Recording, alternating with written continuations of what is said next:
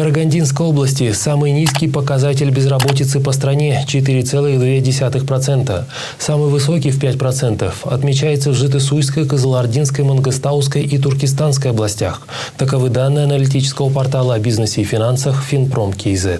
Согласно статистике, в сельской местности у нас проживают самые трудолюбивые жители страны. Безработных всего 3,7%. Это наилучший показатель по республике. Следом идут Павлодарская и Абайская области.